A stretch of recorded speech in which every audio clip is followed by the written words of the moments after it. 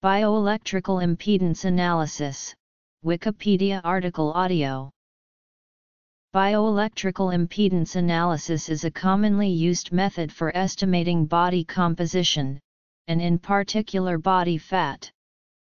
Since the advent of the first commercially available devices in the mid-1980s the method has become popular owing to its ease of use, portability of the equipment. It is familiar in the consumer market as a simple instrument for estimating body fat. BIA actually determines the electrical impedance, or opposition to the flow of an electric current through body tissues which can then be used to estimate total body water, which can be used to estimate fat-free body mass and, by difference with body weight, body fat. Many of the early research studies showed that BIA was quite variable and it was not regarded by many as providing an accurate measure of body composition. In recent years technological improvements have made BIA a more reliable and therefore more acceptable way of measuring body composition. Nevertheless, it is not a gold standard or reference method. Accuracy Historical background Although the instruments are straightforward to use, careful attention to the method of use should be given. Simple devices to estimate body fat, often using BIA, are available to consumers as body fat meters. These instruments are generally regarded as being less accurate than those used clinically or in nutritional and medical practice they tend to underread body fat percentage. Dehydration is a recognized factor affecting BIA measurements as it causes an increase in the body's electrical resistance, so has been measured to cause a 5 kg underestimation of fat-free mass i.e. an overestimation of body fat. Body fat measurements are lower when measurements are taken shortly after consumption of a meal, causing a variation between highest and lowest readings of body fat percentage taken throughout the day of up to 4.2% of body fat. Moderate exercise before BIA measurements lead to an overestimation of fat-free mass and an underestimation of body fat percentage due to reduced impedance. For example, moderate intensity exercise for 91-20 minutes before BIA measurements causes nearly a 12 kg overestimation of fat-free mass, i.e. body fat is significantly underestimated. Therefore, it is recommended not to perform BIA for several hours after moderate or high intensity exercise.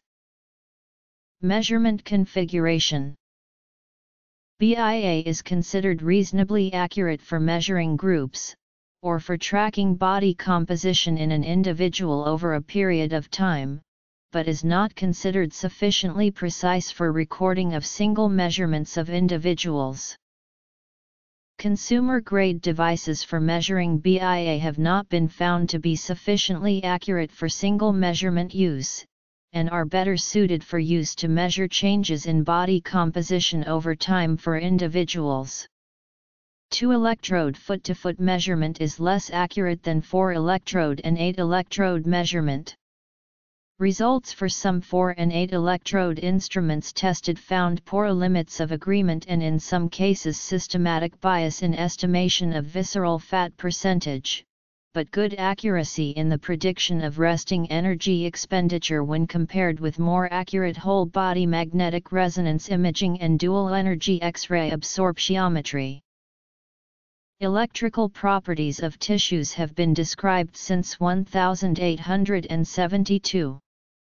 These properties were further described for a wider range of frequencies on a larger range of tissues, including those that were damaged or undergoing change after death. Thomasset conducted the original studies using electrical impedance measurements as an index of total body water, using two subcutaneously inserted needles. Hoffer et al. and Nyboer first introduced the four-surface electrode BIA technique. A disadvantage of surface electrodes is that a high current and high voltage must be utilized to decrease the instability of injected current related to cutaneous impedance.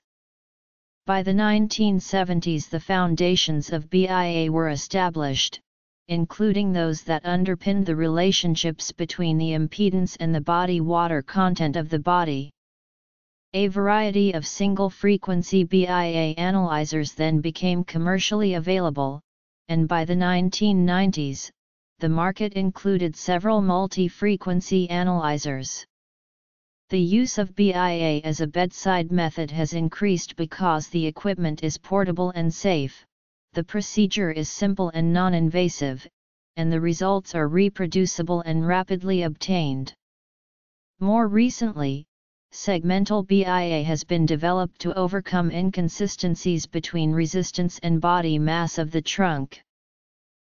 The impedance of cellular tissue can be modeled as a resistor in parallel with a resistor and capacitor in series.